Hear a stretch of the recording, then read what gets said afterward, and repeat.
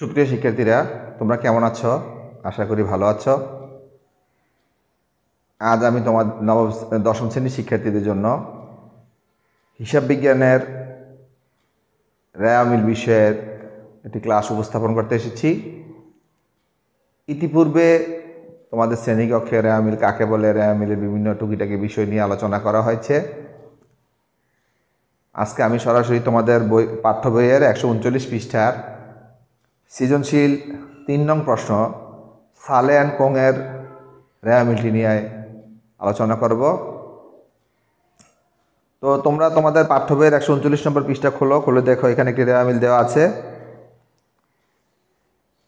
কতে বলা আছে, মূলধন জাতীয় প্রাপ্তির পরিমাণ নির্ণয় করো। তো আমরা ইতিপূর্বে মূলধন জাতীয় লেনদেন মুনাফা জাতীয় লেনদেন সম্পর্কে আমরা চতুর্থ অধ্যায়ে জানতে পেরেছি। তারপর তোমাদের সুবিধার্থে আমি একটু মূলধন জাতীয় প্রাপ্তি বলতে কি বোঝায়, তোমরা একটু স্ক্রিনে দেখে নাও। মূলধন জাতীয় প্রাপ্তি বলতে বোঝায়, যে সকল প্রাপ্তি অনিয়মিত, টাকার পরিমাণ বড় এবং এক বছরের অধিক সময় সুবিধা ভোগ করা যায়, তাই মূলধন জাতীয় প্রাপ্তি।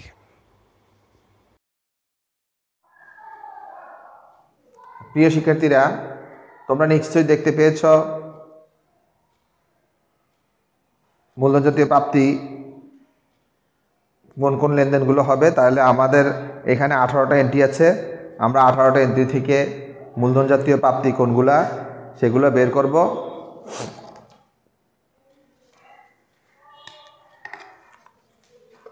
তোমরা দেখতে থাকো, তোমাদের পাঠ্য বইয়ে।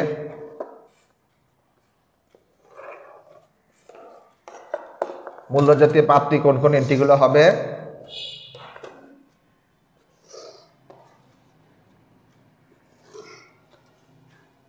হ্যাঁ প্রিয় শিক্ষার্থীরা, তোমরা নিশ্চয়ই ইতিমধ্যে বের করতে পেরেছ। তো আমরা যে যে এন্ট্রিগুলো হবে, আমরা লিখব এভাবে, বিবরণ, টাকা টাকা এখানে আমরা আমরা দেখতে পাচ্ছি আমাদের পাঠ্য বইয়ের দশ নম্বর এন্ট্রিটা গৃহীত ঋণ।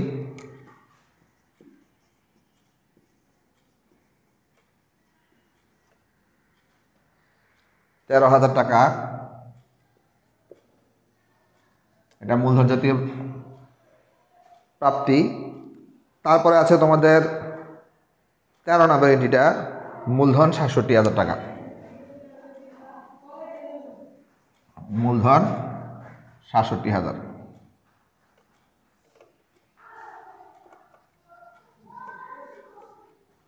সর্বমোট আশি হাজার টাকা হলো মূলধন জাতীয় প্রাপ্তি। তো প্রিয় শিক্ষার্থীরা, আশা করি তোমরা বুঝতে পেরেছ। তোমরা তোমাদের খাতার মধ্যে তিন নম্বর ক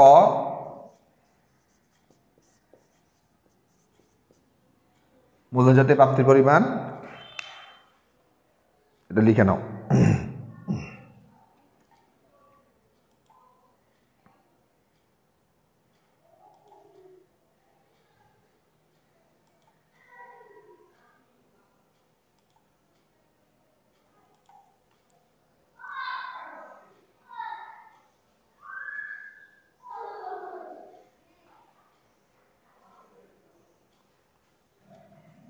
প্রিয় শিক্ষার্থীরা, আমরা এখন সৃজনশীল তিন নম্বর খ নিয়ে আলোচনা করব। খতে বলা আছে, উপযুক্ত তথ্যের আলোকে মুনাফা জাতীয় ব্যয়ের পরিমাণ নিরূপণ করো।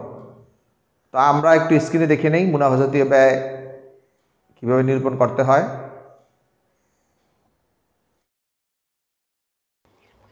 মুনাফা জাতীয় ব্যয় বলতে বোঝায়, ব্যবসায়ের দৈনন্দিন কার্য সম্পাদনের জন্য নিয়মিত যে সকল ব্যয় নির্দিষ্ট সময় পরপর সংগঠিত হয় এবং স্বল্প সময়ের মধ্যেই উপযোগিতা নিঃশেষ হয়ে যায়, তাকে মুনাফা জাতীয় ব্যয় বলা হয়।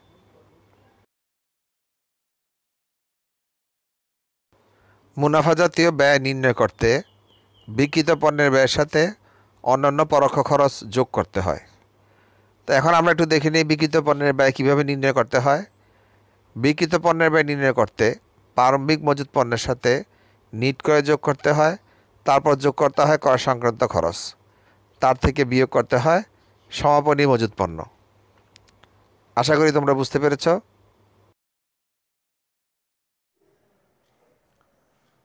হ্যাঁ প্রিয় শিক্ষার্থীরা, তোমরা মুনাফাজাতীয় ব্যয় কীভাবে নির্ণয় করতে হয়, তোমরা নিশ্চয়ই স্ক্রিন দেখতে পেয়েছ।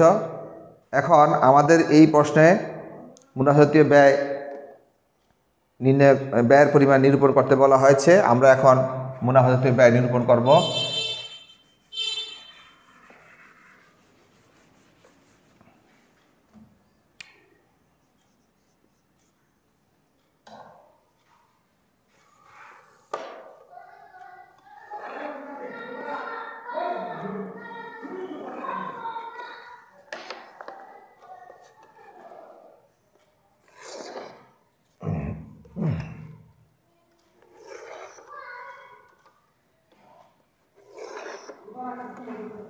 তোমরা এভাবে একটি ঘর করে নাও।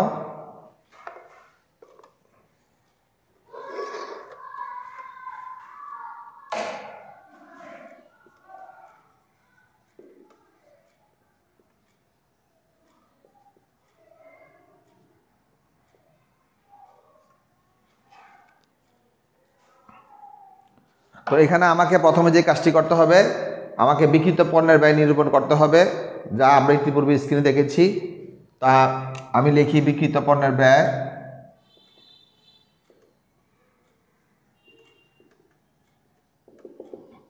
তো তোমরা জানো বিকৃত পণ্যের ব্যয় প্রথম এন্ট্রিতে আসবে পারবিক মজুত পণ্য।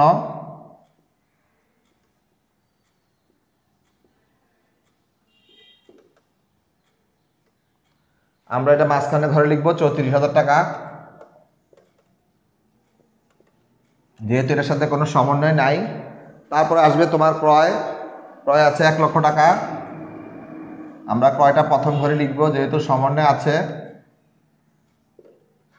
এখানে ক্রয়ের সাথে তোমার ক্রয় থেকে আমরা বই ফেরত বাদ দিতে হবে, ছয় হাজার টাকা। বিয়োগ, বহি ফেরত, ছয় হাজার চৌরানব্বই হাজার টাকা। তারপরে এখানে প্রত্যক্ষ খরচ হিসেবে আছে তোমার জাহাজ ভাড়া। আমরা জাহাজ ভাড়া লিখব পাঁচ হাজার টাকা এটার সাথে যোগ করব।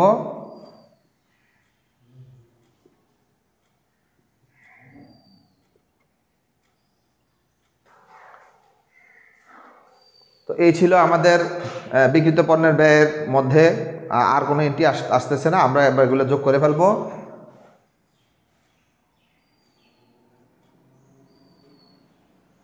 যোগফল হচ্ছে এক লাখ তেত্রিশ হাজার টাকা। তো প্রিয় শিক্ষার্থীরা, তারপরে আমরা দেখব যে মুনাফা যদি ব্যয় আর কোন আসে। আমরা দেখতে পাচ্ছি এখানে বেতন আছে, বরাদ্দকৃত বার্তা আছে, মণিহারি আছে, কুরিন আছে।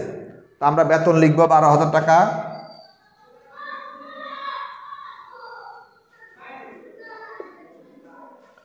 বরাদ্দকৃত বার্তা লিখব দশ হাজার টাকা।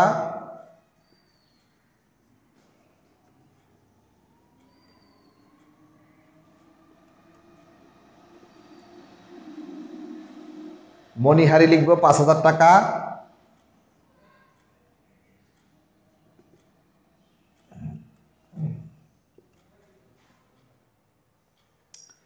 কুরিন আছে নয় হাজার টাকা। তবে কুরিনের সাথে সমন্বয় আছে, এই জন্য এটা আমরা প্রথম ঘরে লিখব।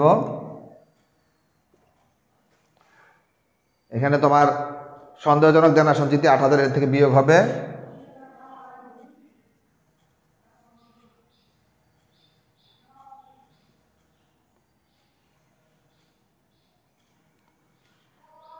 সন্দেহজনক দেনা সঞ্চিতি আট হাজার,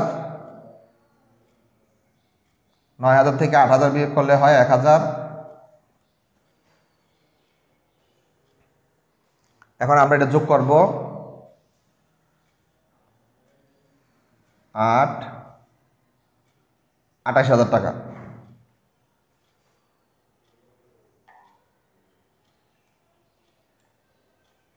আমরা দেখতে পাচ্ছি আর কোনো এন্ট্রি নাই, তাহলে আমরা এখানে বিক্রিত পণ্যের ব্যয় এক লক্ষ তেত্রিশ হাজার, আর এই খরচগুলো আঠাশ হাজার। আমরা এই খরচগুলো যোগ করে ফেলব, যোগ করলে দেখি আমরা কত হয়।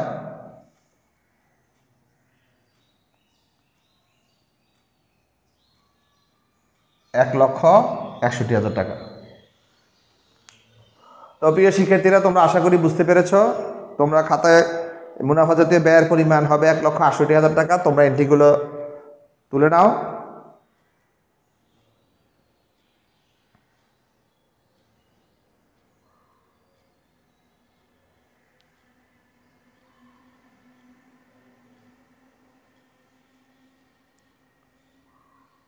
সুপ্রিয় শিক্ষার্থীরা, আশা করি তোমরা বুঝতে পেরেছ এবং খাতায় এটা তুলতে পেরেছ।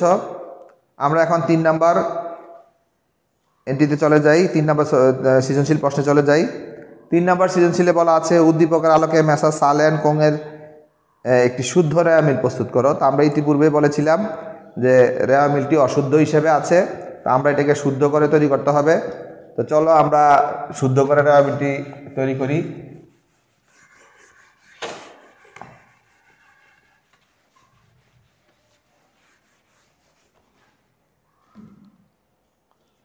তো আমরা ইতিপূর্বে রেওয়া মিলের ঘর নিয়ে তোমাদের সাথে আলোচনা করেছি। তোমরা একটি রেওয়া মিলের ঘর এঁকে ফেলো।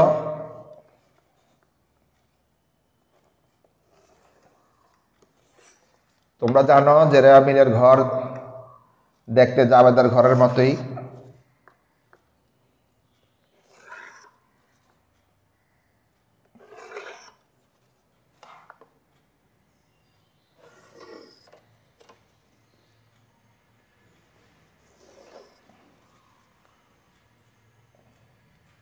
আমরা ঘরে গিয়ে ফেললাম।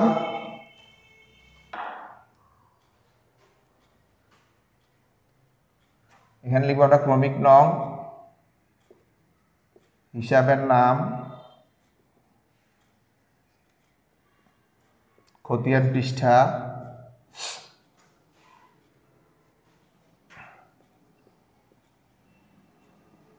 ডেবিট টাকা,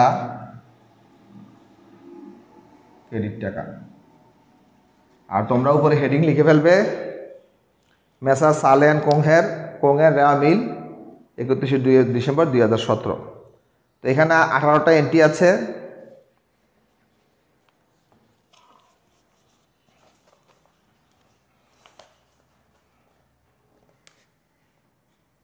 প্রারম্ভিক মজুত পণ্য।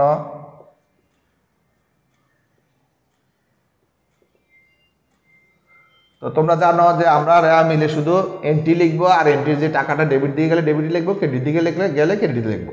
আমরা ইতিপূর্বে রেয়া মিলে কোন কোন এন্ট্রিগুলো ডেবিটে যায় এবং কোন কোন এন্ট্রিগুলো ক্রেডিটে যায় তা নিয়ে আমরা আলোচনা করেছি। তো সেই হিসেবে আমরা জানি যে প্রারম্ভিক মজুত পণ্য ডেবিট দিকে যাবে, তা আমি ডেবিট দিকে লিখব চৌত্রিশ হাজার টাকা। দুই নম্বর আছে ক্রয়। ক্রয় এক লক্ষ টাকা, আমরা জানি এটাও ডেবিট দিকে যাবে। তিন নাম্বার আছে তোমাদের বেতন। এটা ব্যয়, এটা তোমরা জানো যে বেতনটাও ডেবিট দিকে যাবে বারো হাজার টাকা। চার নাম্বার আছে পাওনাদার তোমরা জানো এটা দায় এই জন্য এটা ক্রেডিট দিকে যাবে চল্লিশ হাজার টাকা। পাঁচ নাম্বার আছে দেনাদার, এটা সম্পদ। তোমরা জানো এটা ডেবিট দিকে যাবে। ষোলো হাজার ডেবিটে। ছয় আছে ব্যাংক জমার উদ্বৃত্ত, এটা জানো সম্পদ।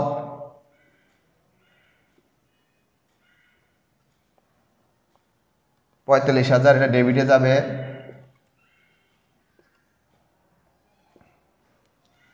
সাথে আছে আন্তঃফেরত ডেবিটে যাবে। এটা বিক্রয় ফেরত। তিন হাজার টাকা। আটে আছে জাহাজ ভাড়া। খরচ, প্রত্যক্ষ খরচ। জাহাজ ভাড়া পাঁচ হাজার, এটা ডেবিটে যাবে। নয় আছে প্রদেয় বিল। তো তোমরা জানো এটা দায়। এটা ক্রেডিটে যাবে বিশ হাজার টাকা। দশে আছে গৃহীত ঋণ, এটাও দায়।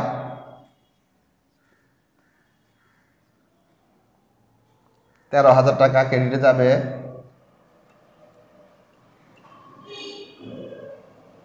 এগারোতে আছে দালান কোঠা সম্পদ, পঞ্চান্ন হাজার। ডেবিটে যাবে। বারোতে আছে বরাদ্দকৃত বার্তা।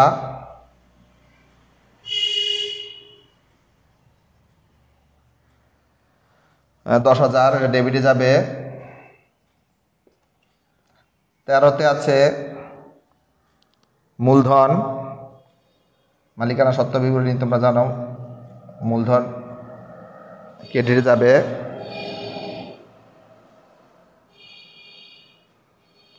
মূলধন সাতষট্টি হাজার। চোদ্দোতে আছে বিক্রয়। ক্রেডিটে যাবে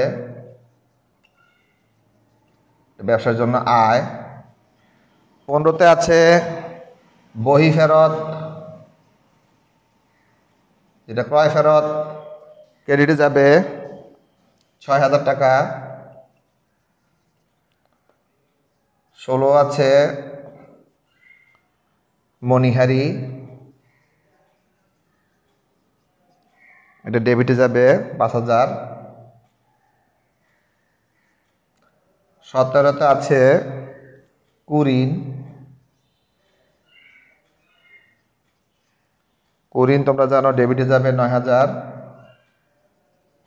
সর্বশেষ আঠারো নম্বর একটি সন্দেহজনক দেনা সঞ্চিতি এটা ক্রেডিটে যাবে।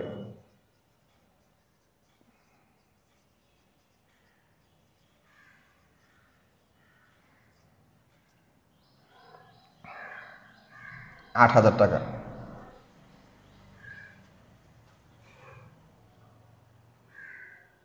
তো প্রিয় শিক্ষার্থীরা, এখন আমাদের যে কাজ কাজ হবে, আমরা ডেবিট দিক এবং ক্রেডিট দিকের যোগফল নির্ণয় করব। আর আমাদের দুতরফা দাখিলা পদ্ধতি, নীতি অনুযায়ী রায় মিলে ডেবিট দিকে যোগফল এবং ক্রেডিট দিকে যোগফল সমান হবে। তা আমরা যোগ করি।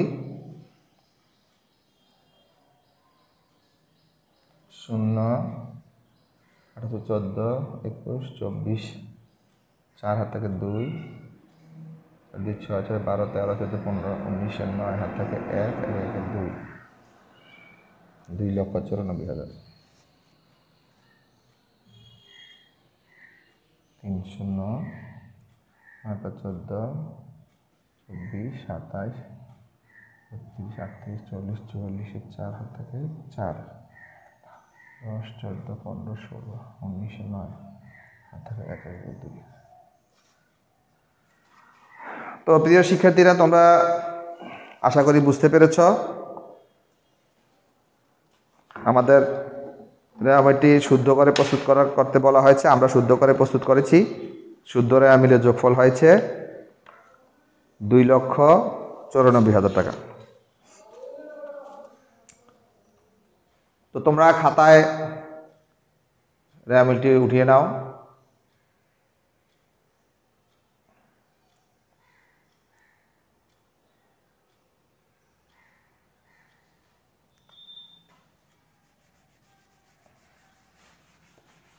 আশা করি তোমরা বুঝতে পেরেছ। আমি তোমাদেরকে এখন একটা বাড়ির কাজ দিচ্ছি।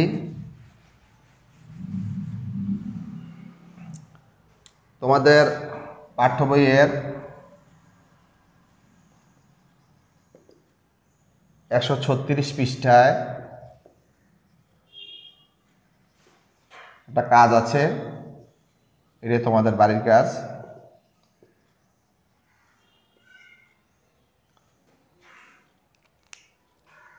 তো তোমরা আশা করি আজকের ক্লাসটি ভালোভাবে উপভোগ করেছ।